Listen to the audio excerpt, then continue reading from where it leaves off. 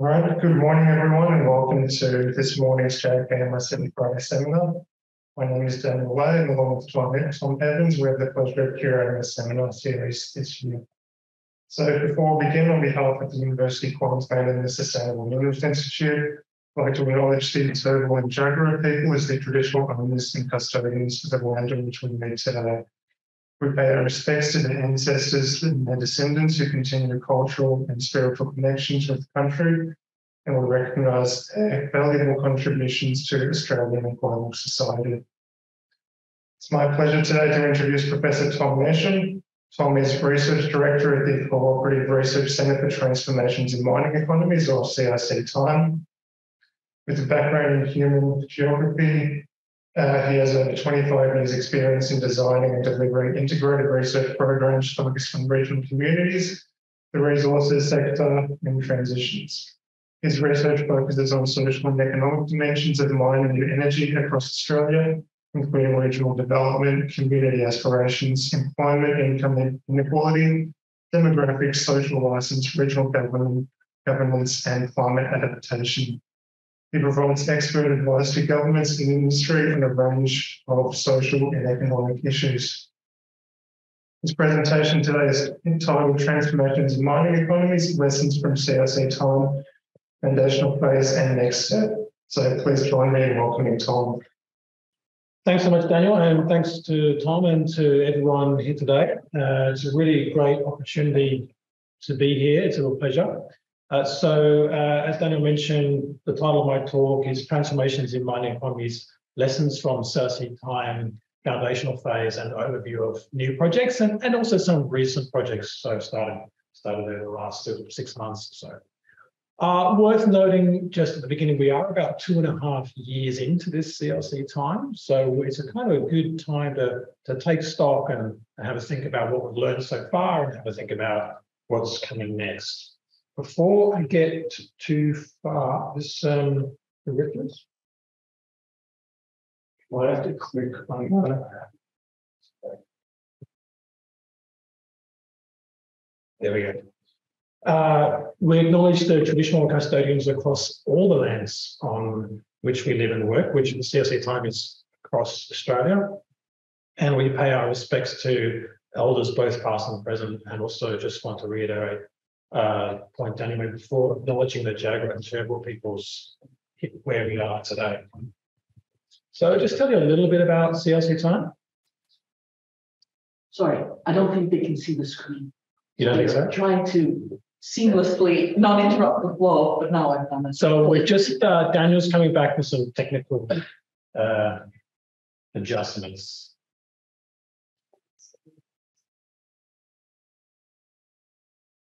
But that what? Into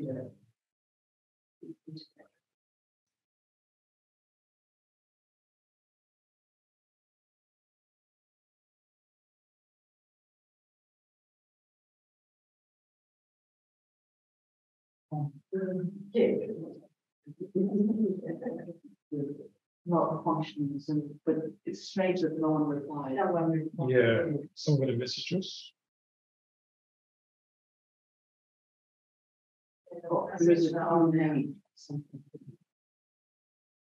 Okay, excellent. We're good to go. Sorry about. No, thank you for just checking those technical details. So um, I'll tell you a little bit about CRC TiME. Uh, as uh, Daniel mentioned, is the Cooperative Research Centre for Transformations in Mining Economies. Uh, we we're located in multiple sites, so we have an office here in Brisbane at the UQ SMI building, and we also have an office in Perth, where we have our main office and we have staff in in uh, Melbourne and also in South Australia. So we're quite diverse, we're quite spread out. And also just acknowledging the work of our SMI colleagues who produced this lovely map showing mine closures over the years to come. So we have quite a few red dots indicating mine closures over the last five, over the next five years, yellow dots over the next five to 10 years, um, and uh, also uh, over the next sort of 15 years. And if you add them all up, we have around fifty percent of existing mines expected to close over the next twenty-five years, with many in a much shorter timeframe than that. So closure is a big issue and it's a near-term issue.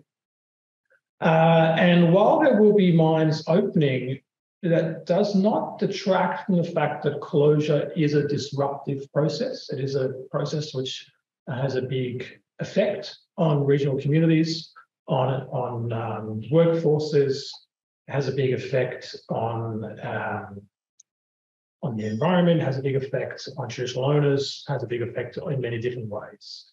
Uh, I think it's um, also worth noting that to date, the focus on closure has been about closing the mine itself, not about what comes next. That has not been a big focus. So that is very much part of our raison d'etre. We are around what comes after mining, both in terms of the socioeconomic effects of that, in terms of what that means for the environment, in terms of all the different dimensions, uh, recognizing that what comes after mining may involve some of the same people, but it may involve different people as well. So that's an important part of the recognition there.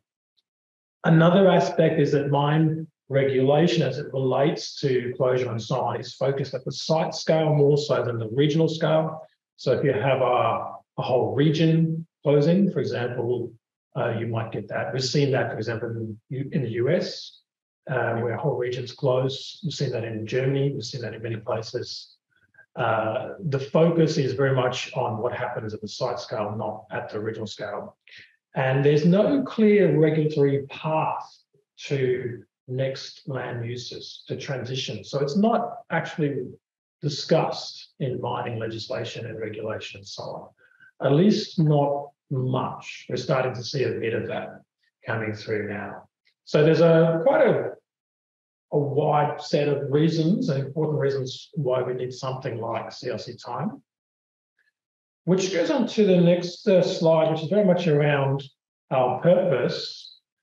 So we have a range of factors here, and I won't be able to read all of them out, but just want to pick out a few highlights. So part of the issue is around reducing the number of abandoned mines, so the abandoned mine estate, which is often discussed and often using some quite large numbers. Some of those numbers are debated, but whatever it is, there's quite a few of them, and uh, some of them require considerable attention. Through to not just a focus on problems, but really a focus on opportunities. So there's resources, there's infrastructure, there's uh, skill populations, there's a whole lot of opportunity which we see when it comes to uh, mine closure and transition. So in terms of mission, uh, we bring together a diverse uh, range of stakeholders to help reimagine and dramatically transform Australian mine closure outcomes. And in terms of our vision, we see closure as a valued cornerstone for post-mining economies and the mining industry, something to be proud of, doing it well, but also building enduring benefit for all Australians. So it's very much around shifting from what you might call it being a something to deal with at the end of the life cycle and, and a transition to something new. I'll tell you a little about that partnership. I think probably one of the most uh, impressive things which struck me coming into CRC when I joined a bit over a year and a half ago was the number of partners. So that number is 80 partners. We have 80, around 80 partners. They, they do change. Sometimes we gain an extra one. Occasionally, some people have uh, completed their partnership, but it's it's mostly a growing number. When I first had the CRC TiME, it was 50, and now it's 80. So it is a large number of partners who are involved, and we need a large number of partners, and we need partners from a wide range of different backgrounds and different areas of focus, which we have here on the slide. As you can see, um, regions and communities are very much around uh, regional development organisations, local councils, these sorts of uh, entities government, particularly state governments, but all those government researchers are a crucial part of CRC TiME, obviously, and we have First Nations as well, mining companies and METS companies, so the services companies. And we have board representation, so on the CRC TiME, but we have representation from all of these areas, which is uh, very important for having a, a balanced view and a diverse view. We're all good there, Daniel? Yep. Yeah, cool. Um, who, and they all bring different types of resources and contributions. So some of those contributions are financial, some of them are in kind. There are some uh, community organizations, regional organizations who don't have large budgets, but they do have time and they have expertise and they have knowledge and they have know-how, which they contribute to CRC TiME. Uh, and something similar for all of our partner areas. We have this range of contributions and, and we have close to $30 million from the Commonwealth as part of the CRC program, which is over a 10-year timeframe. So we we have quite a lot of resources to uh, bring to bear on these problems, but they're all and, and solutions there, but they're also quite complex and they're uh, quite diverse. So it's a it's a great opportunity. Um, also, like to highlight what I said in the beginning. We're co-located. That's important to have representation, uh, certainly on both coasts. So it's it's a real pleasure to be based at University of Queensland, and we also have staff um, have a big office or a main office in Perth as well, associated with University of Western Australia. We're guided by a First Nations inclusion strategy, and I'm going to talk about that a little bit in a minute.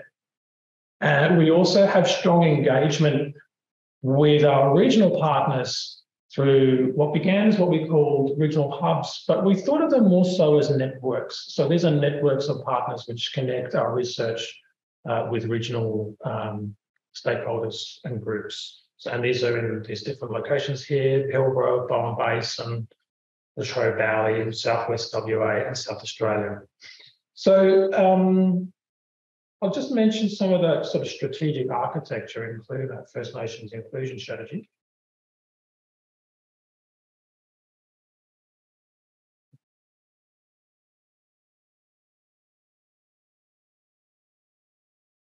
There we go. Yeah. First of those is our research prioritisation plan, which was developed in 2021. So we're a fair way into that now. It does have eight areas of research priority. We put regions in transition right in the middle, so everything kind of feeds into that, but it is its own priority in its own right.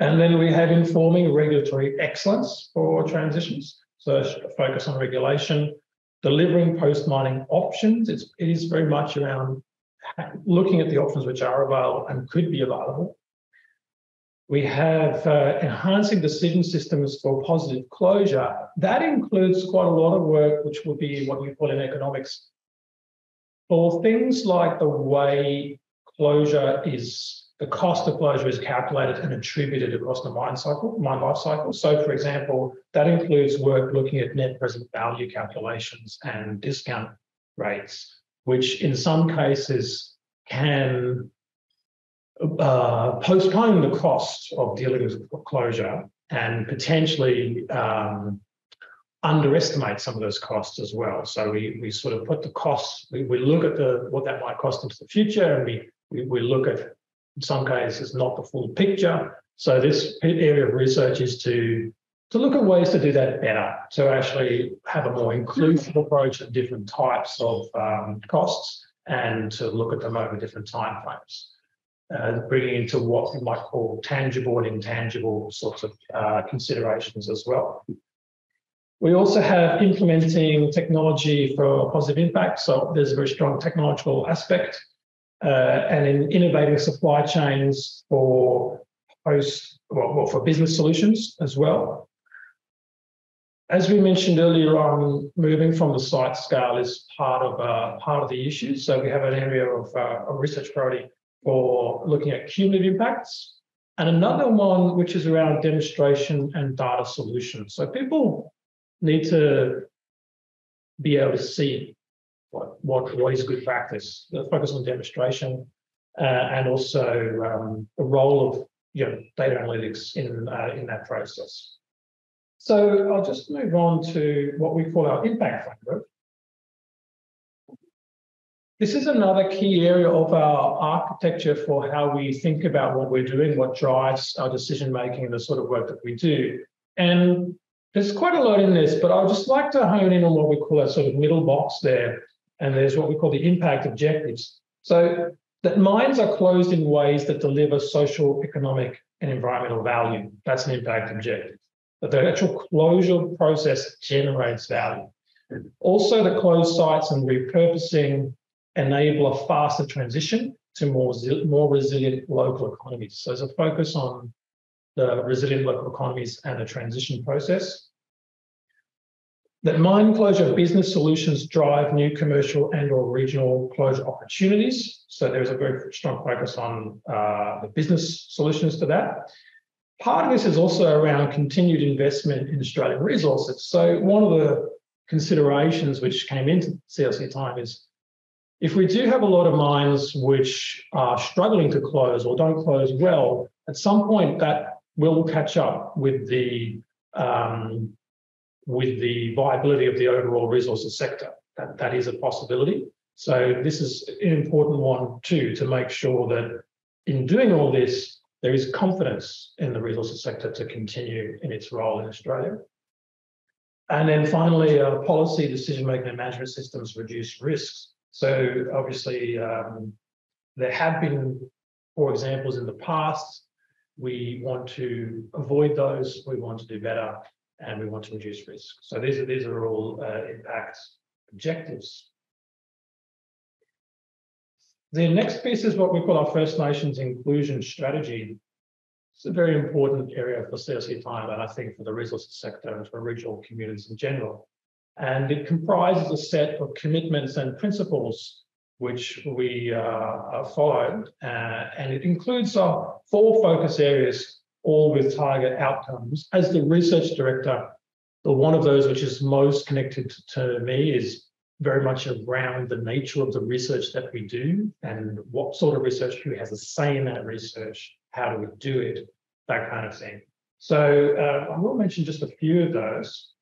And key part of that is we are guided by a First Nations advisory team who play a role in uh, in the uh, development of projects or in guiding the development of projects. So we have uh, the team here on the right hand side, chaired by uh, Jim Walker, uh, who's um, based at UQ.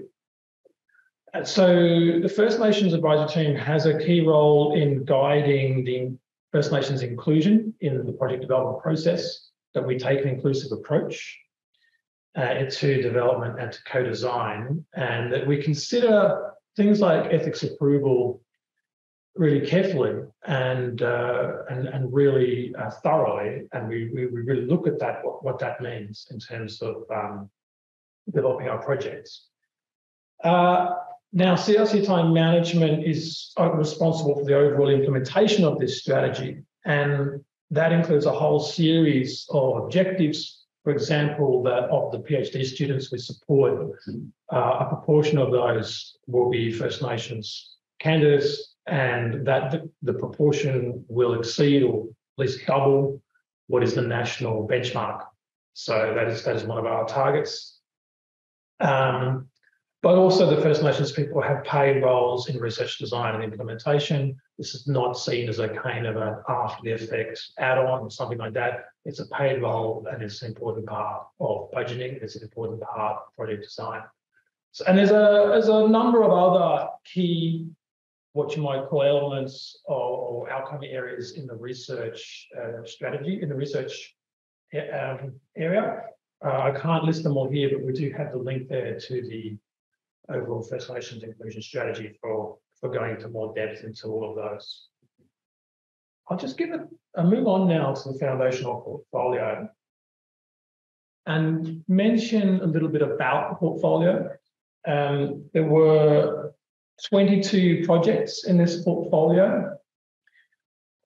They were synthesis projects, background projects. They were for contextualization of the research to come we're based here at UQ. UQ was deeply involved in many of these, and I'd like to uh, acknowledge and thank all of the UQ researchers who are involved in these. They were also around building networks of practice. So these projects had teams which came from multiple institutions. That was a design feature so that we were not working in silos or kind of we were trying to build connections.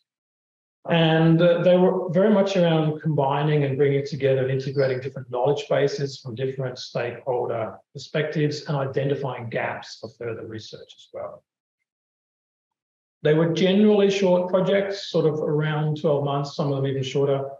Uh, and there was around 1.9 million of cash invested in those and some additional in-kind value and, in- and other contributions which raised the portfolio to around $5 million, uh, which was which is now completed. Um, and they were across these five areas. So one, one was regional economic development, uh, very much around post-mining land uses, looking at the regulatory aspects, the things which uh, were mentioned in the research prioritization plan and which correspond to our program one, regional economic development. Uh, and also the risk evaluation and planning area, which I mentioned before. So understanding stakeholder values, that's important. So it's going to be very, very important. Uh, exploring issues in mine closure planning. So actually looking at the process of planning, kind of the, the way it works in industry and looking at current tools and techniques which underpin that, and also identifying risks and opportunities in mine closure planning. So that's very much around that, that sort of second area.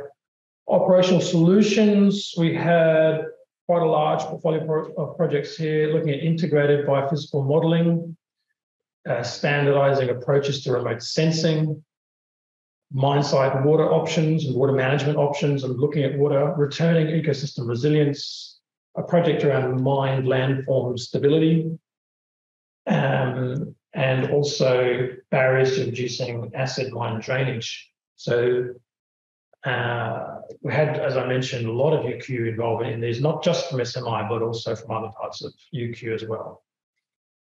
Then we had a whole set of projects around collaborative infrastructure, dynamically uh, informing and transforming uh, assessment processes through shared analytics framework.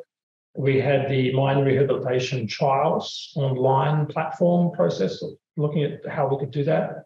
A network of demonstration sites for testing, uh, looking at a, a, knowledge hub, a sort of a, a tool for sharing knowledge, and a, and a project looking at an abandoned mine, looking at abandoned mines and, and how you might develop uh, an atlas of those or how you might develop a, a database of those, which could be useful. Um, then we had some projects around understanding pathway to impacts, the foundations of effective Indigenous inclusion and climate transitions and closure. So this whole portfolio was designed to be multifaceted, integrated. And I had the joy of reading all the work which came out of this. I think something like 3,000 pages of reports. Um, and really thinking through what does all that mean? What does it mean? Uh, it was a it was a joy, and I distilled three overarching lessons. So there's lots of lessons from all of it, and they there's lots of lessons depending on what your particular focus is. But there were three overarching ones, which I'd like to highlight. And the first one is that there is limited recognition of the concept of transition and what it means in practice. That is an area where there is limited recognition.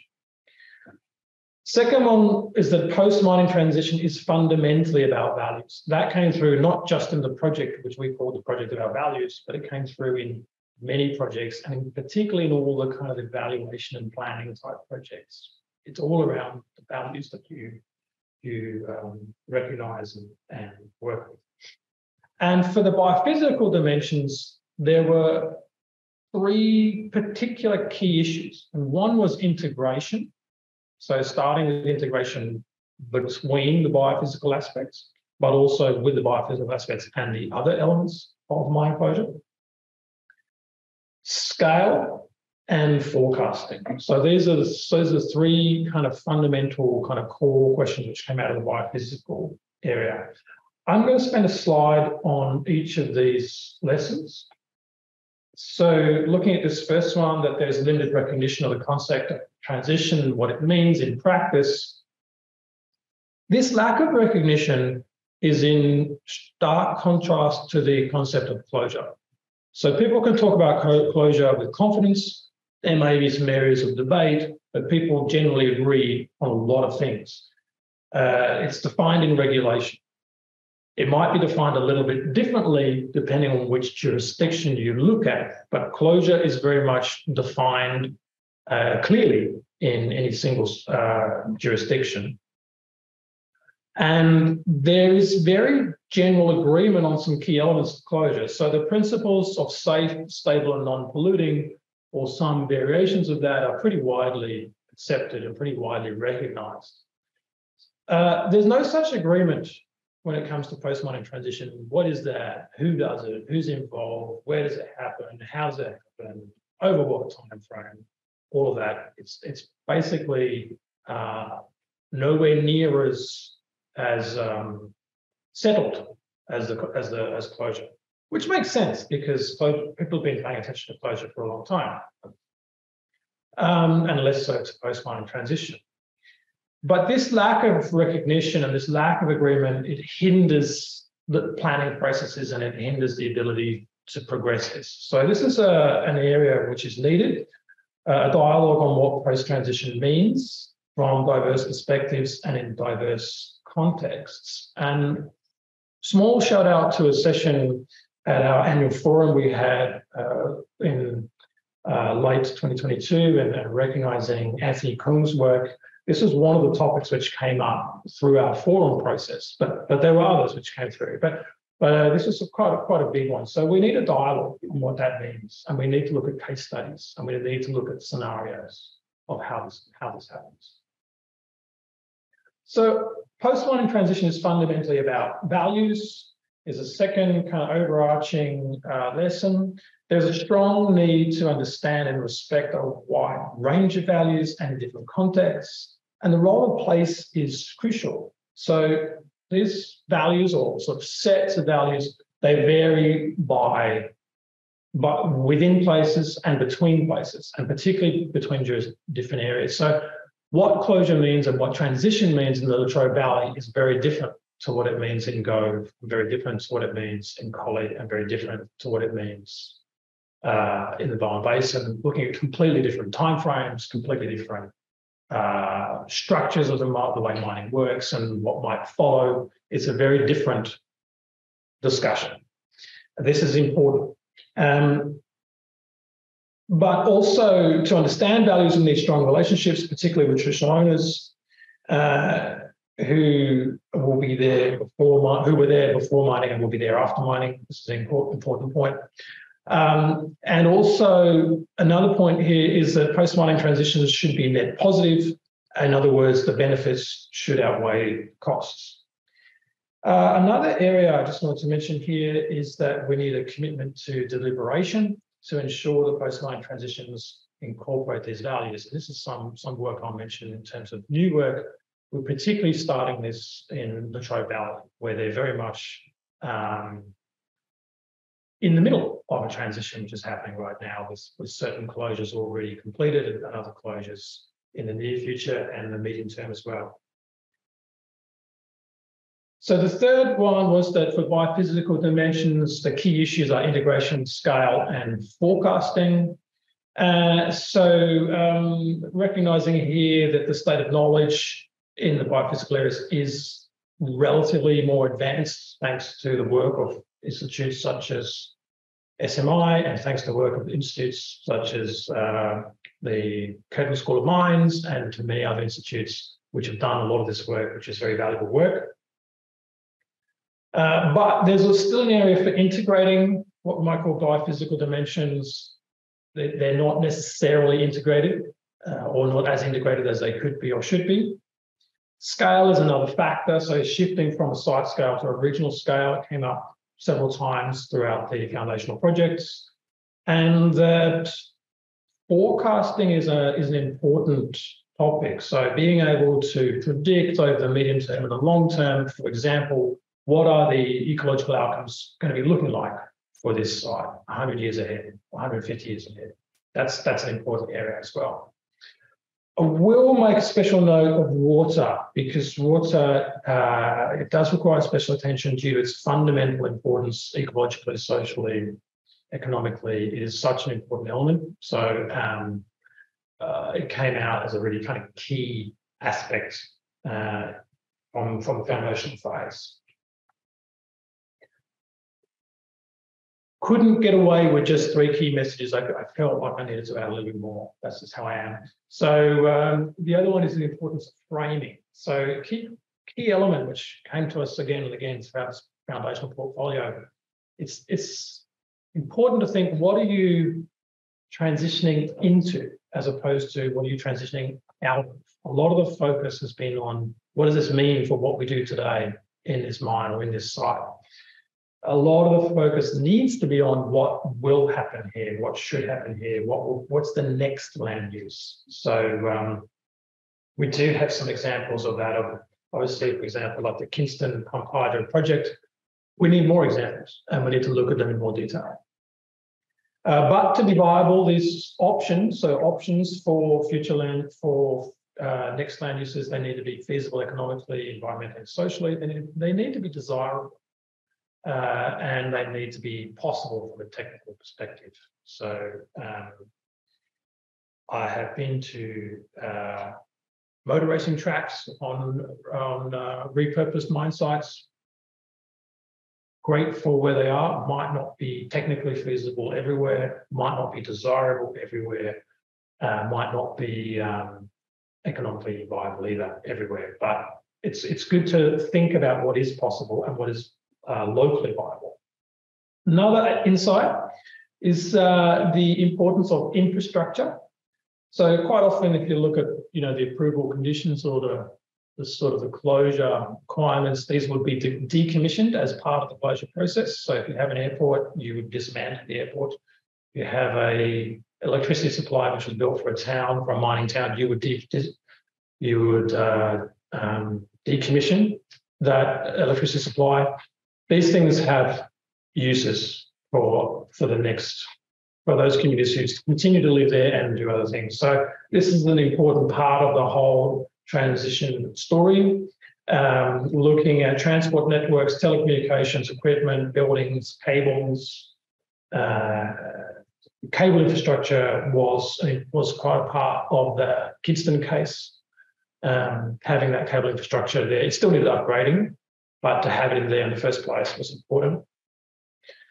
Um, also recognizing that when you repurpose something doesn't mean necessarily it's easy. So there's costs to maintain these things. Uh, there's costs to upgrade them or to make them fit for purpose. They may have degraded due to timeframes um, and they may not necessarily support the access to markets and access to customers, which have changed as mine, mine, mining might close. So the airport might no, may no longer be viable. That's the important part. So I'm going to talk about some selected new projects or recent projects. We do have more than I have time for to go into today. So this is a kind of a highlights, not a full kind of uh, comprehensive list.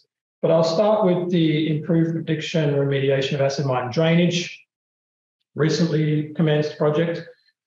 Uh, so this project, uh, it's actually our largest project. It's a five-year project. It's a large team. Uh, it's got, um, in terms of the scale of this project, it's bigger than the entire foundational portfolio. So this one project is bigger than the 22 projects I mentioned before. It's an important project because it's an important issue. Um, and uh, it focuses on, on it focuses on addressing AMD by examination of mine waste behaviour at the mesoscale. Again, coming back to that issue of scale, which we talked about before, uses mineralogy and microbiology for assessment and remediation of the uh, undersaturated mine waste zone. It addresses the gap between lab scale methodologies and mine site implementation again through this uh, emphasis on mesoscale testing, and developing improved acid-based testing procedures for AMD uh, waste disposal planning. So it is a significant project. UQ is significantly involved, as is Flinders and some of our other partners. Uh, I've got the link there if you'd like to find out more about this project, and we can put you in touch with the staff on this project if you'd like to discuss that one more. Uh, regional economic transition framework. So this is a project just starting, only recently contracted. And it's around how to secure uh, and leverage mining benefits over the long term. It particularly takes a long-term focus, very suitable for regions where mining is expected to be a big part of the near term, medium term, sort of decades to come. It's actually thinking well in advance this project. Let's let's really think well in advance what's going to happen in places like the Bowen Basin, what's going to happen in places like the Pilbara. And it's looking at the pathways for the what's going on in those economies, uh, looking at the elements of those economies which are conducive to complementary activities along the way. What is the nature of the skills base? What is the nature of the infrastructure? What is the structure of those economies? What are the things that are going to be compatible with mining while it continues and then can continue to grow uh, when mining eventually closes? This long-term view is very important um, and, it, and, and it's a different set of methods to what you would use when something is closing in a short. Uh, very important to establish a strong a stakeholder consultation process for this and to really look at the structure of those economies and how they've been evolving over time and how they can best evolve in a way that is conducive to what people want in those economies. So, uh, and in those regions, uh, providing locally relevant and custom data analytics as part of that, they're looking at developing some tools which provide information about all mining regions in a kind of more general sense, but they're going to hone in on particular mining regions and take that long-term view. This is really important because sometimes one of the things we've observed, for example, in Collie, that some of the changes which happened in Collie with the closure of mines in Collie took 30 years of, of work to come up with some of those uh, post-mining land uses. It took 30 years, and it, which is not to say the work was necessarily evenly managed over that time frame. It might have been you know certain conversations, certain certain planning, certain kind of thinking, certain people doing certain things. But it's a long time process. The German, we often look at the German experience for uh, closure of coal. That was a 40 year process. Very active involvement, planning, regional government, state government, industry. It's a 40 year process. So looking at what's in the economy, looking at how it works, looking at where it can go, who's involved, what's, what are the kind of desirable long-term outcomes. That's very much the focus of this project. Collaborative planning for post-mine um, uh, closure in the Latrobe Valley, it's a much nearer term project. So closure is already underway we have one mine closed, we have one power station closed, we have another one scheduled to close within next sort of well, short term, medium term as well. Uh, and this is very much looking at what are the options for the landform, starting with the landform, because that does have a very strong influence on what you can do with that land and, and who does it. So starting with that. But it's about a platform for deliberation it's about building on the the work that has already happened there, the studies that have already happened there, and bring it together and synthesizing it, uh, and to kind of build what you might call community literacy on the opportunities and also the challenges, and some of the constraints too. I mean, you can't just do everything at this point in that closure process. They haven't had necessarily the uh, benefit of that kind of 40 year German closure planning experience. Um, but this is a very important project and it's very uh, focused on delivering constructive outcomes and um, also things which are reasonable, sort of realistic and feasible. So uh, it's a it's an excellent project, and it's um, again just starting up now. We have more information on this here. Regional cumulative effects assessments this is a staged project, so this is just the first stage. Um, doesn't necessarily mean it goes on to a second stage or third stage, but but it's if this stage goes well or goes according to what's in the plan, then we have potential for follow-up stages. Uh, it's looking at case studies of assessments uh, that help to to guide uh, cumulative impact assessment and, and, and effects. It's not all negative, so we use the term effects rather than impacts. Impacts tends to convey a, uh, a focus on problems. Effects can also be positive.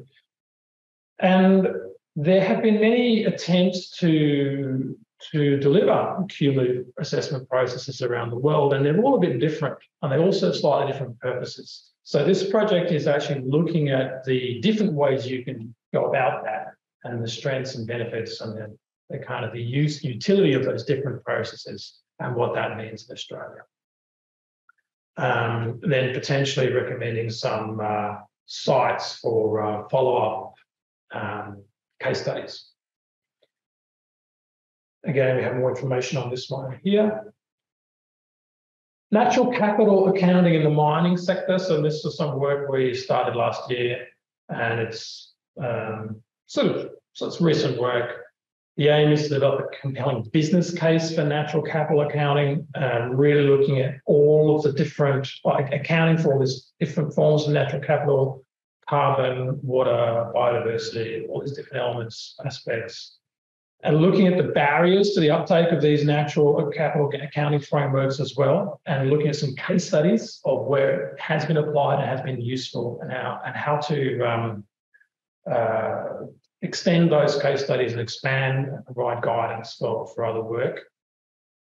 Looking at opportunities for um, arising from engagement with the natural capital accounting systems. So this is some work uh, led by uh, Brian Maybe, who is our program two lead leader, he's an economist based in Perth, and it's it's a very interesting project as well, and very very um, timely considering the industry interest in this, these frameworks and the government interest in these frameworks. I will mention uh, a project which is about to start. So this is sort of in the contracting process. Foundations of mine closure, a course, a course on that. One of the things which came out of all of our work so far, again at this two and a half years point, is there's not enough training, awareness raising on what closure is and what transition is. And we need to provide more information to people, provide more training, give people more training. It's quite interesting. So a lot of the demand for this came from the closure teams who work in the companies we are partners, not because they needed training, but they they are the, they're a sort of a small number of people. So we need we want other people to have access to this training. We want people who are not working immediately and directly in closure, but are connected to closure to have a greater awareness of what is needed. So it does have better connection throughout the business, throughout throughout the rest of the, the companies, different sections. Um, so we are looking, and also so that all partners involved in closure have a better understanding of that and, and, and transition. So we're uh, commissioning this course, and in addition to that, we're going to be providing what you might call a um, uh, strategic assessment of where that fits in the training landscape as a sort of additional component. And then the final uh, proposal, yeah, work starting soon, I just want to mention is a Songlines National Training Pathway. This is an Indigenous-led project it's going to be looking at the enablers for more Indigenous involvement in the closure process and also tailoring closure training and training in general to enable greater participation uh, of First Nations people in closure, but also in the conversation about closure. So in, in the negotiation processes, in the discussions of, of what should happen in the various places where uh, closure is um, going to happen. So I'll leave it there. Thank you very much and open for questions.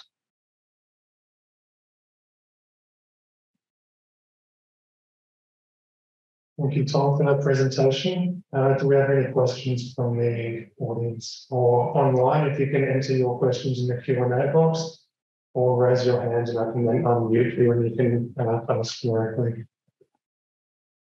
Thank you, staff.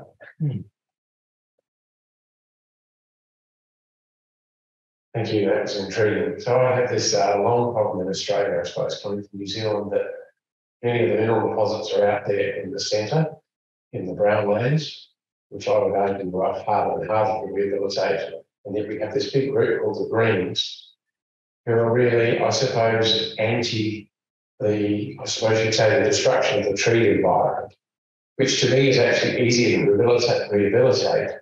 So we've got this problem in our industry that be interested to hear your thoughts in the natural capital accounting space. In that, really, in terms of the whole value chain, perhaps it's better to be in the tree environment where it's actually uh, easier to rehabilitate rather than, you know, if you put a track through a Tasmanian forest, it's gone in 10 years. If you leave one in the desert out there, Broken Hill there, it's there 100 years later. So I'd be interested to know what your thoughts are in that sort of space. Uh, yeah, look, thanks for the question. Um, let's just go back to this uh, wonderful map prepared by some of our colleagues here is mine. And mining that happens in all those places, you know. So you mentioned in the tree places, but also in the um, in the kind of the non-tree places. Uh, is it easier? Is it harder? How do people respond to it? They're really good questions, and uh, they will be different in different contexts. And I think that that whole focus on values and and place is what one of it becomes. It's so uh, important to addressing those questions.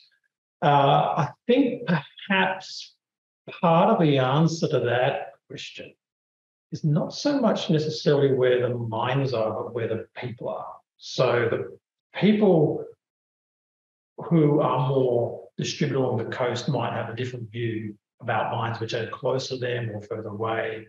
Those are all kind of questions to, to consider. I think, I mean, we don't have a sort of definitive answer to the right here right now.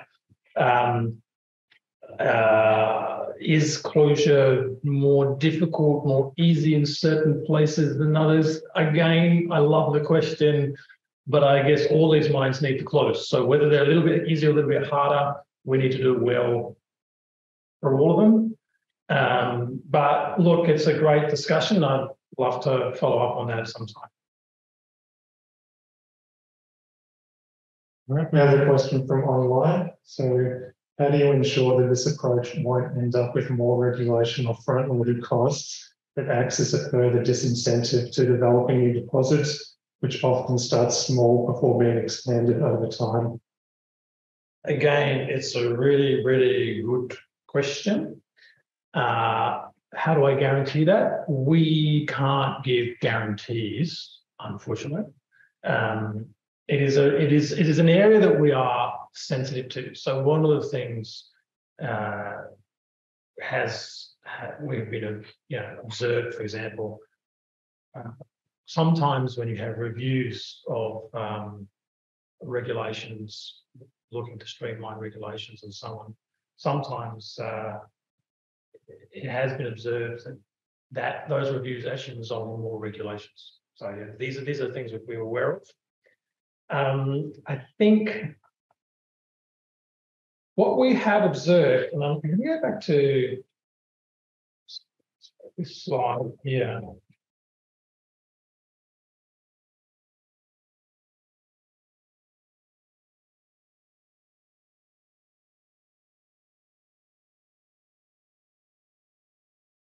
Yeah, so this is the Capel Eco Discovery Centre.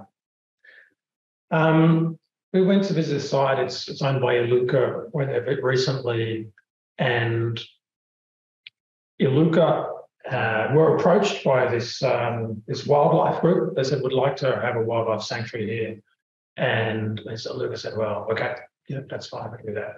Um, and um, they said, "Okay, we'd also like to build a wildlife hospital." They said, "Well, all fine from our perspective, you know, that works for us. We do need to uh, update our own regulatory process. We need, we, we, our regulation requires that this site becomes uh, native, native vegetation, which in some ways we're not entirely um, happy with because before we took it on, it was state forest and state forest and native vegetation, different sites. But you know, that's we, we signed up to that, so we're all good. But if we want to, if you want to do the wildlife uh, hospital and the wildlife sanctuary, we, we like that. We'll work with you on that and we'll, we'll make that a little bit. Um, yeah, we'll, we'll prepare the site for that. Um, the issue here is that everyone agrees on what should be done with this site, but they are unable to change their regulatory approval process in order to do what everyone wants. So regulation is definitely a big part of this. How can we guarantee that this won't create more regulation? I don't know. I think the problem we have here, it's not so much that the regulation doesn't exist or there's too much of it. It's about just taking a decision, a decision that everyone wants. And I think there's a very there are, there are genuine reasons why, in this case, the regulators have not signed up to that deal because they don't want to be left with a white elephant if this if this wildlife hospital, you know, doesn't work out, it it, it, it has some problems, it's a, people walk away. There's a hang on a second, you know, we we don't want to be left with that. So I understand their their logic, but there's a lot of people who are trying to converge on transition to something which was a mine site and now it's going to be something else. And it's not so much the existing, it's not so much the regulation kind of, uh, it is a regulatory question, but it's not a problem of we need different regulation or new regulation here. What we just need is a decision within the existing regulation. So there is still a regulatory aspect. I don't think, for example, in this site, new regulation is needed. It's just a confidence that actually this is a good thing to do. This is the right thing to do. Any other questions? And one more, uh, and one from the audience.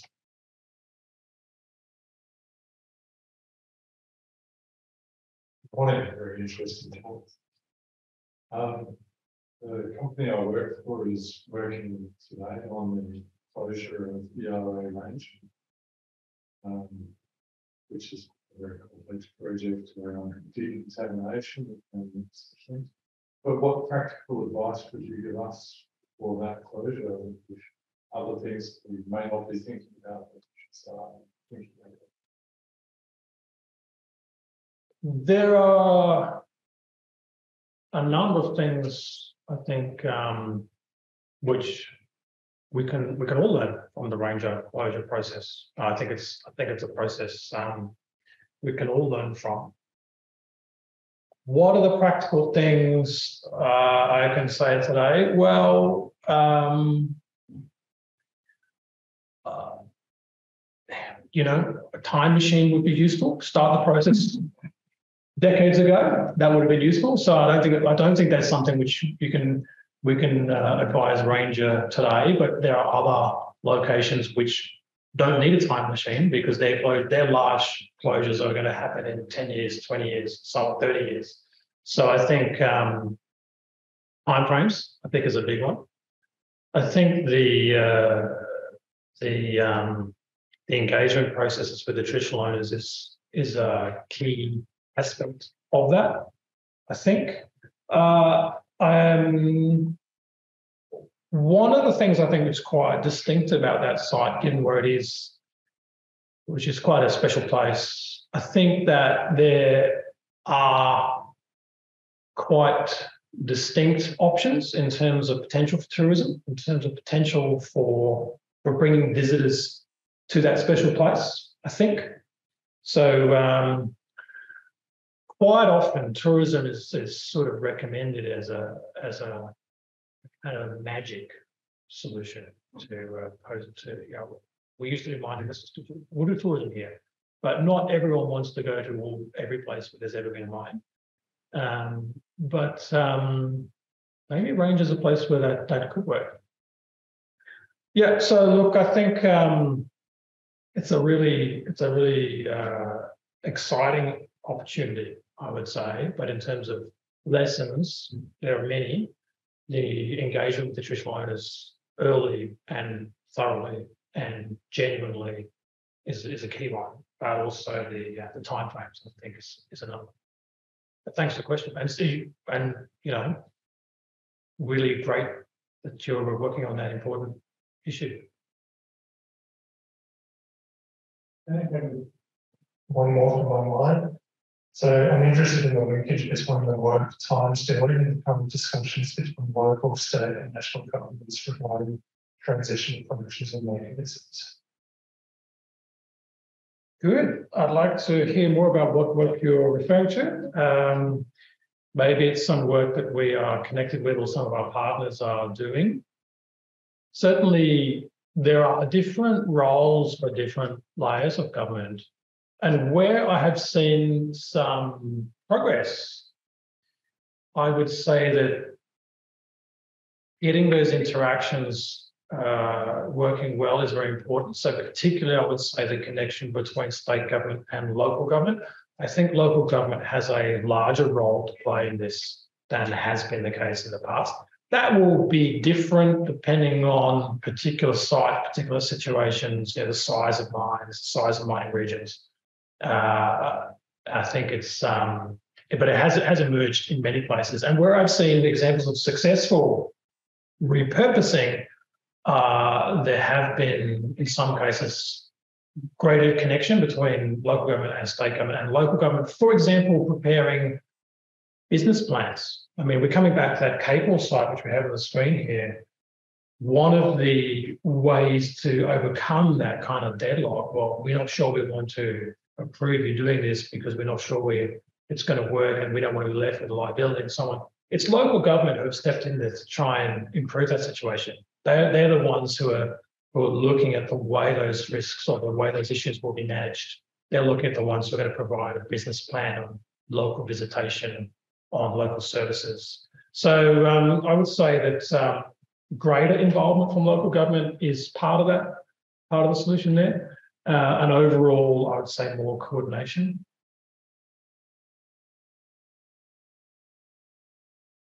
Right. Well, if there are no further questions, um,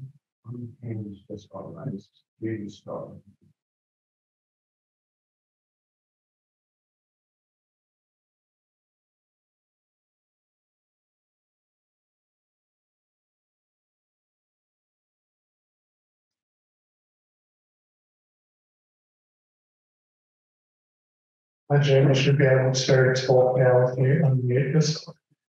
Okay. Um, just a quick point in regard to the historic civil societies, the settlements around Australia that are, have longevity that have been based on mining. But over time, when mining has waned and them communities have come forward with resilience and dynamic opportunities and they've survived until the next flush of mining advancement or re-entry point recommercializations, etc. So if you put it in the context of, say, somewhere like Kalgoorlie Boulder in the goldfields of Western Australia, as modern mining's coming forward now, and we're seeing this and then cumulative effects and the transition for energy futures and that dominance of mining coming back in and squashing that resilience and them opportunities and aspects that were built in that longevity of civil society it's it's almost like it needs attention on that mining heritage aspect.